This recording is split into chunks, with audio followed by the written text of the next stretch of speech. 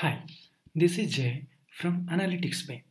In this video, we are going to see how to download and install TextMate on our macOS.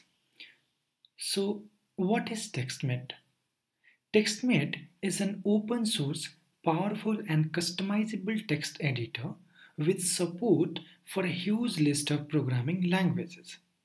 So let's open any browser and search TextMate. Click on the first link. Then click on the download TextMate 2.0. It will start downloading. Here we can see it comes with many features like multiple carets, file search, version control, scoped settings, commands, snippets, bundles, macros, and many more. As we can see, our file has been downloaded successfully.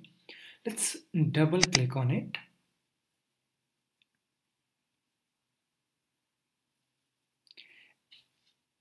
Then click on this TextMate.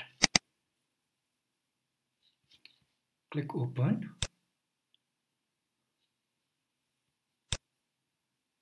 Okay. And here we go. Thank you so much for watching this video. Please like, share and comment. Also, do not forget to subscribe.